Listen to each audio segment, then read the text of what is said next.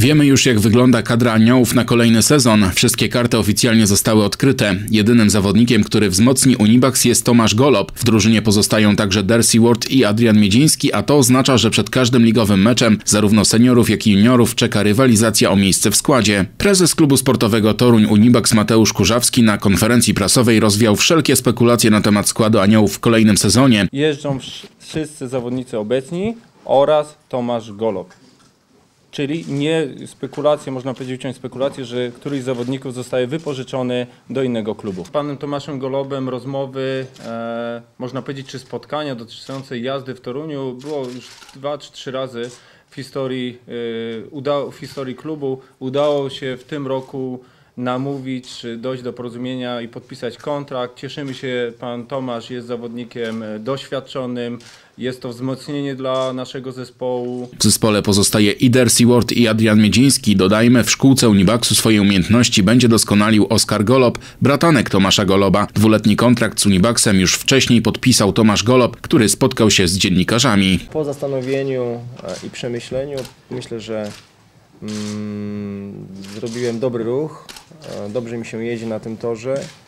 W miarę blisko do domu mam. Jak i też e, zawodnicy, którzy są w tym zespole. E, bardzo dobrze się z nimi znam i myślę, że będziemy dobrze ws- współpracować podczas e, zawodów. Innych pod, podtekstów nie ma. Po prostu miałem do, do wyboru Rzeszów, Zieloną Górę, też Bydgoszcz i Toruń. Wybrałem ten klub. Ja zrobiłem wszystko, co, moż, co może zrobić sportowiec w danej dziedzinie sportu, czyli w żużlu. E, lubię jeździć na motoarenie. To jest tor mój niewątpliwie ulubiony, jeden z ulubionych torów. Z kibicami toruńskimi myślę, że mam dobry kontakt. E, Nigdy nie było, mm, nigdy nie było nieporozumienia podczas Grand Prix czy zawodów ligowych uznawali to, co robiłem na tym torze i, i wydaje mi się, że, że nie mam żadnych obaw, a udowodnić, może to udowodnienie chciałbym zamienić w dobrą jazdę i e, zdobywaniu i dawaniu im dużo radości, bo mm, jeżdżę generalnie dla kibiców, dla miast czy dla mojego kraju. Także mm, jak to ktoś napisał na forach, ja nie jestem bydgoski, ja jestem po prostu polski. Ja mogę tylko powiedzieć Wam, zdradzić tajemnicę, że wszyscy mm, moi znajomi, którzy mnie spotykali, którzy, którymi się spotykałem na ulicy, czy gdziekolwiek w Bydgoszczy, wszyscy będą przyjeżdżać do Torunia.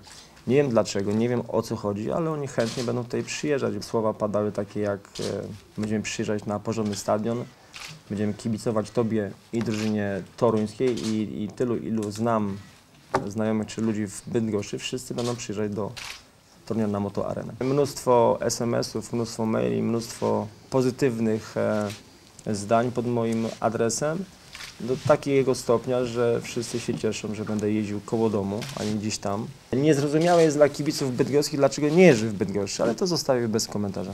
10 lat już nie jeżdżę w Bydgoszczy, tak?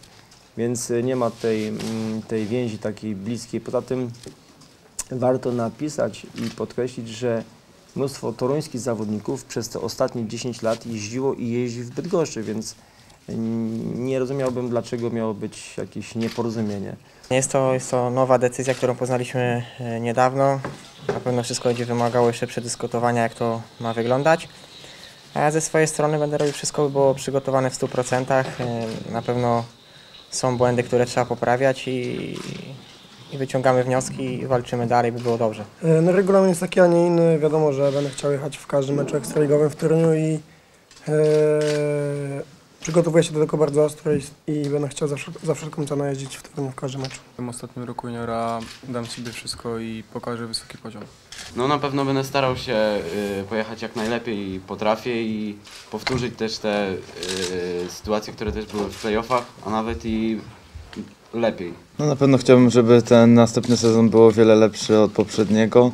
Na pewno będę starał się wykorzystać każdą szansę daną przez klub i pff, mam nadzieję, że będzie o wiele, wiele lepszy od tego. Nadal nie wiadomo, kto w kolejnym sezonie poprowadzi Unibax. Na pewno nie będzie to Mirosław Kowalik.